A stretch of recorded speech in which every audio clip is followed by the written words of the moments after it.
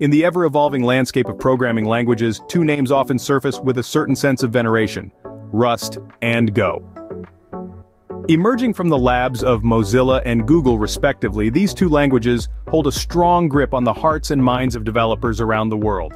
Rust, a systems programming language, focuses on safety, speed, and concurrency. It aims to provide the power and performance of C and C++, but without their notorious pitfalls. On the other hand, Go or Golang is a statically typed, compiled language known for its simplicity, efficiency, and strong support for concurrent programming. Now let's dive into the strengths and weaknesses of these two languages. Starting with Rust, its major strength lies in its memory safety guarantees without sacrificing performance. It allows developers to write high-performance code with a low risk of crashes or security vulnerabilities. It's a language that refuses to compromise on control and performance. However, Rust also presents some challenges.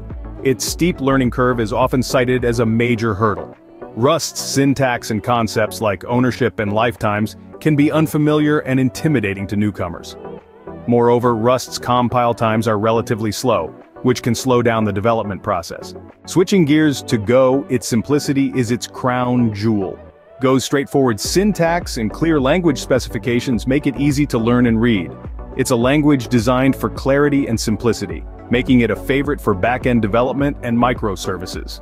Go also shines in its support for concurrent programming. Its routines and channels make concurrent programming more accessible and less error-prone. Furthermore, Go has a robust standard library and excellent tooling which can boost productivity. However, Go isn't without its drawbacks. Its simplicity can sometimes be a limitation. Go lacks some features that are common in other languages, like generics and exceptions. This can lead to verbose code or workarounds that can make the code less clean and harder to maintain. Additionally, Go's garbage collector while convenient can cause performance issues, particularly in latency-sensitive applications. In summary, Rust and Go both have their unique strengths and weaknesses. Rust offers control and performance with a focus on safety, but its steep learning curve and slow compile times can be deterrents.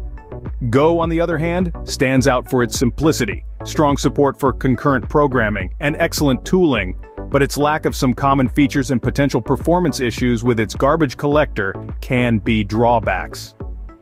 Choosing between Rust and Go depends on the specific needs and constraints of your project. Both are powerful, modern languages that have a lot to offer, the decision ultimately comes down to which language's strengths align best with your project's requirements and which language's weaknesses you are willing to navigate.